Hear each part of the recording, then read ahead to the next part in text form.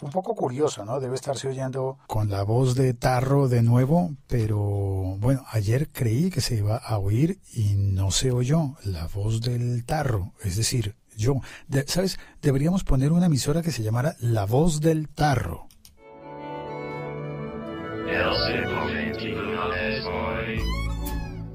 Y acabo de descubrir que hay una barra de deslizadora de volumen para la playlist. Es decir, voy a describir esta aplicación de Spreaker Studio para escritorio, para desktop, para un ordenador, para una computadora.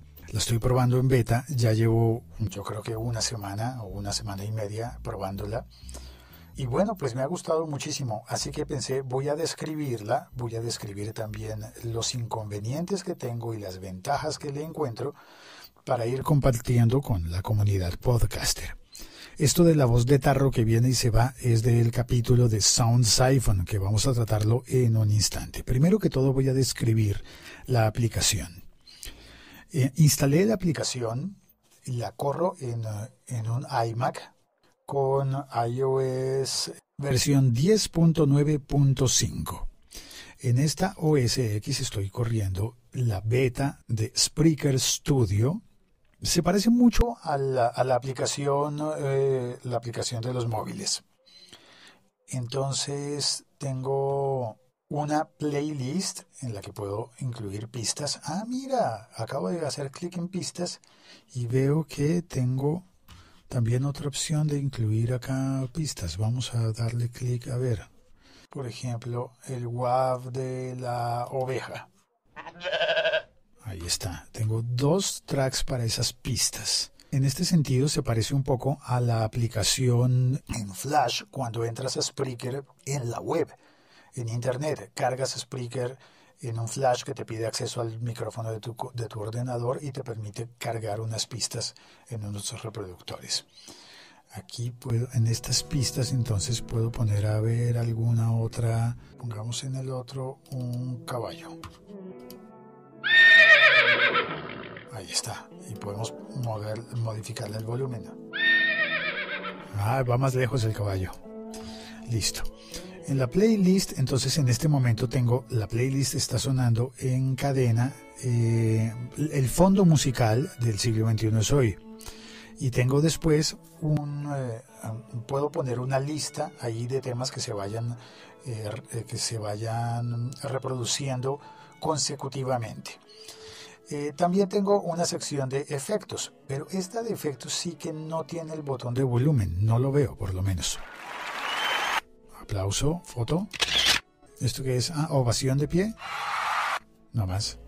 Esto es para cuando uno está que se quiere, que dice, no, este episodio va muy mal, lo quiero terminar a las...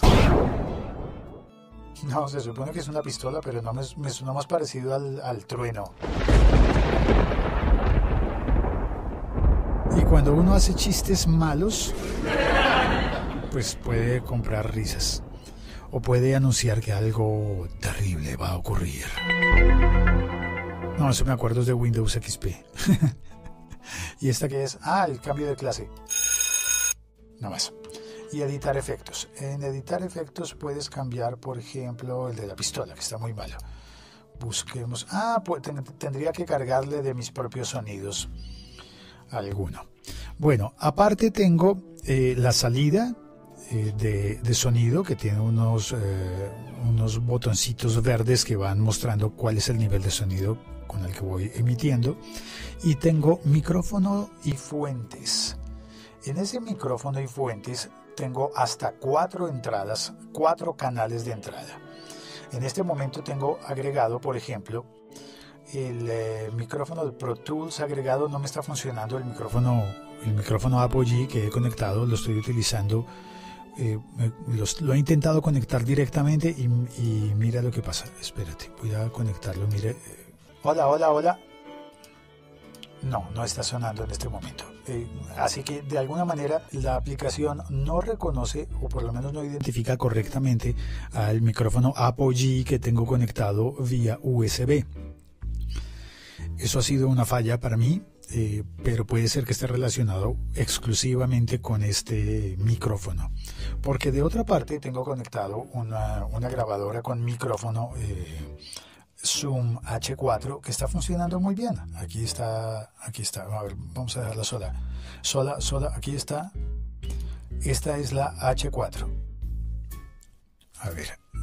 Ah, ahora sí. Esta es la H4 que está sonando sola.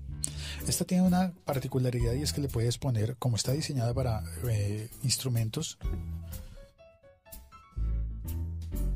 le puedes poner efectos. Como este, este efecto. O este otro. O así. Uy, este. Como cuando entras al baño. bueno, un baño muy grande y vacío. Bueno, está bien el, coliseo de un colegio, el salón polideportivo de un colegio. Volvamos a dejar como estaba. Entonces, este, bueno, esto, estas son gracias que las hace la, grabadora, la Zoom H4. Sigamos con lo que puede hacer el, eh, el, el, Spreaker Studio. Me permite, por ejemplo, buscar el chat y ver aquí que está Sergio. Buenos días, Sergio, bienvenido. Lancero Parcero dice Toc Toc, buenas, ¿se pueda? Eh, adelante, por favor, adelante. Luis Rengifo, bienvenido, Luis. El podcast de la granja, dice. A ver, ¿por qué me dirá que el podcast de la granja, por Dios? Y Havde, bienvenido Havde, muchas gracias por tu donación, fuiste muy, muy generoso, muchísimas gracias por tu donación. Gracias. Eh, dice, muy buenas, preparan, preparado para los eventos de hoy. Eh, sí, eh, bueno, casi preparado para los eventos de hoy. Se supone que, todavía no hablamos de eso. creo yo, ¿no? Ah, porque hay expectativa para saber qué va a pasar en la keynote de Apple, así que eso lo veremos después. En el podcast de mañana, supongo. Bueno, ya todo el mundo hablar. Está Arturo, bienvenido Arturo, hola, buen día. Y el lancero parcero dice, con tantos efectos de animales, esto debería llamarse los podcasters de Bremen. Uy, me perdí esa referencia. Me la perdí. Bueno, tendré que buscar en Wikipedia. Pero bueno, a lo que vamos. Eh, tengo entonces estos, estos tracks. Eh, Luis Rengifio, ¿vas a hacer podcast durante la keynote? No, Luis, a esa hora seguramente estaré en el trabajo. Ay, espérate, no. Ah, claro como tengo la playlist, me acaba de decir que ya se gastó el tiempo que tenía previsto para el episodio, así que ya están los 10 minutos de episodio diario, ya se debería acabar esto. Ya, está, estuvo hecha la prueba con el, eh, con el eh, Spreaker Studio. No, ¿verdad? ¿Hacemos una prueba? Digo, digo, ¿me permites seguir mostrando en tiempo extra? Sí, como los juegos, como cuando los partidos de fútbol quedan empatados al final, tiene que haber un campeón, vamos a extra tiempo. Bueno, extra tiempo para este episodio podcast. Arturo me está explicando los músicos de Bremen, burro, perro, gato y gallo. El lancero me dice los músicos de Bremen, los hermanos Grimm. Bremen. No, la verdad es que no, creo que me salté esa clase en el jardín de niños, en el kindergarten. No fui. Lo siento. Ah, bueno, encendamos el, el Sound Siphon. Bueno, entonces ahora, ahora debo estar hablando por el Sound Siphon. ¿Se oye o no se oye? Sí, creo que sí se oye. Eso ahí está. El Sound Siphon. Eh, ah, bueno, los cuatro tracks que, de entrada que me da eh, la consola de Spreaker Studio los tengo asignados. El uno para el, para el micrófono H4. Volvamos a encender. Micrófono H4, ok, aquí está. El segundo es para el eh, micrófono eh, USB que utilizo, el Apogee, a través de Sound Siphon, que le asigné un canal. Instalé el Sound Siphon, la versión de prueba, por eso es que pone a veces hablar como tarro, eh, así por ejemplo, porque la versión de prueba diciéndome, estás usando la versión de prueba, tienes que comprar. Pero mm, lo interesante es que Sound Siphon también me permite crear canales. Por ejemplo, acabo de añadir un canal de Sound Siphon de Skype. Eh, es decir, Sound Siphon se parece a uno que se llama SoundFlower. Entonces, instalas el Sound Siphon y te permite crear canales de audio dentro del ordenador, dentro de la computadora. A esos canales de audio, es más, abramos el Sound Siphon y puedo explicarlo mejor. Eh, disculpas para los que no son tan geeks me permite crear unos canales virtuales de sonido. Encendamos el otro micro. Eso, el, H4. Me permite crear unos canales virtuales de sonido por los cuales yo asigno, por ejemplo, aplicaciones. Eh, dice aquí que estoy ya con el Sounds iPhone abierto. Ah, ok. Abrí el Sounds iPhone y me dice, Purchase Sounds iPhone, cómprelo. No, cancela, no puedo comprarlo en este momento. Y llego a, un lugar en el que me permite crear canales. En este momento tengo dos creados, el Skype iPhone y el micrófono de Apogee Siphon, esos canales quedan dentro de la tarjeta de, dentro del esquema de audio de mi computadora, de mi ordenador. Y puedo elegir de esos canales las entradas a Spreaker Studio. Pero no solamente los de Sound Siphon, también puedo ingresar las entradas de las entradas de otro software similar que se llama Soundflower. Solo que Soundflower sí es gratuito. Sunflower es gratuito y por Sunflower puedo decirle al ordenador, al Mac, que todo el sonido del, del ordenador lo saque por Soundflower y no por la tarjeta de audio. Entonces queda el sonido destinado a Soundflower que te da dos, dos opciones, una que se llama dos canales y otra que se llama, eh, a ver, yo miro, 64 canales. La verdad no sé utilizar eso de los 64 canales, es de uso avanzado, así que utilizo la de 2. O cuando utilizo la de 4, pues me da lo mismo. Como tengo destinado el audio, todo va saliendo a ese Soundflower, pues puedo abrir, por ejemplo, la aplicación de Spotify y decirle, muéstrame mis canciones de recomendación de descubrimiento semanal. Y aquí me muestra, Spotify me sugiere 29 canciones para esta semana y eh, van a sonar por el Sunflower que está entrando por uno de los cuatro canales del Spreaker Studio. ¿Voy muy, muy enredado? Bueno, para las personas que lo entendieron, lo entendieron. Y para los que no, pues pongámosle música.